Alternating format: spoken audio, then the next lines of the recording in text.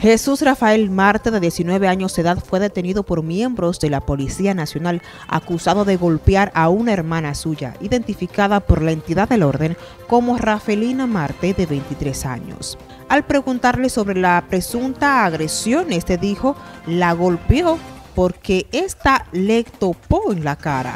Ella me topó por la cara y yo le bregué arriba porque ella me topó a mí. Me topó por la cara a mí, me sacó un cuchillo también cuchillo me sacó. ¿Por eso la golpeaste? Ajá, porque me sacó un cuchillo también. ¿Tú entiendes que eso no es justificación para golpearla? No, porque ella me topó muy, muy fuerte por la cara y me topó así, pam, pam, pam, pam, de galleta con Joanny Cordero, NTN, su noticiero regional.